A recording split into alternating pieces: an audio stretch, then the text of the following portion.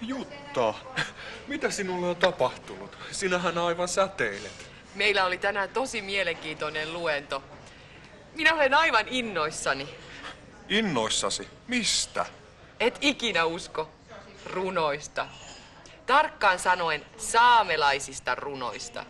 Minä olin ymmärtänyt, että sinä et erityisesti välitä runoista. En välittänytkään ennen, mutta nyt minä olen päässyt ennakkoluuloistani. Me tutustuimme tänään kulttuurin kurssilla saamelaisiin teksteihin. Odota hetki. Minulla on täällä kopio yhdestä huomiseksi luettavasta kehtolaulusta. Sehän on tehnyt sinuun suuren vaikutuksen. Saamen kieli on kiehtovaa. Jos olisin tiennyt sen aikaisemmin, olisin varmasti mennyt saamen kielen kurssille. Tässä se on. Vieressä on teksti suomeksi. Teenna munna vuotum. Katso nyt näitä sanoja. Mitenhän ne oikein äännetään? Missä minä voisin kuulla saamen kieltä? Ei aavistustakaan.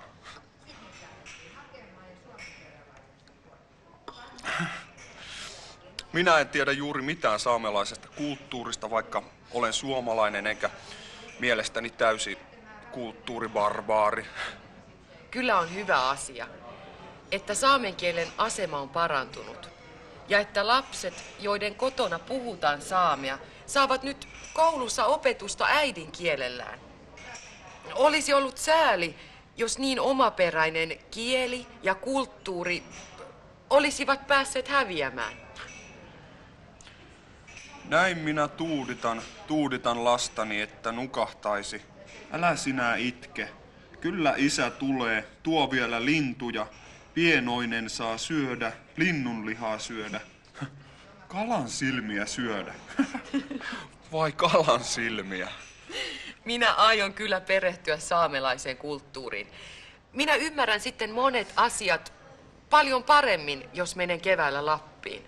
Aiotko sinä mennä Lappiin? Ehkä pääsiäisenä. Karin kanssa siitä oli puhetta. Tulisitko sinäkin? Minä voisin alkaa järjestää sitä. Saako tätä ehdotusta harkita vai onko tästä päätettävä heti? Se on nyt tai ei koskaan.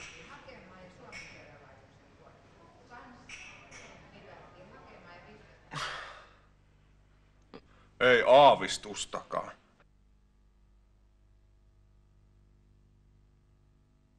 Olisi ollut sääli. Minä en tiedä juuri mitään saamelaisesta kulttuurista.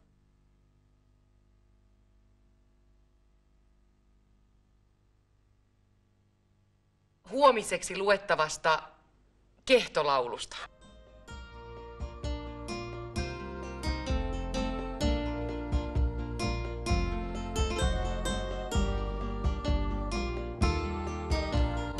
Tavataan taas.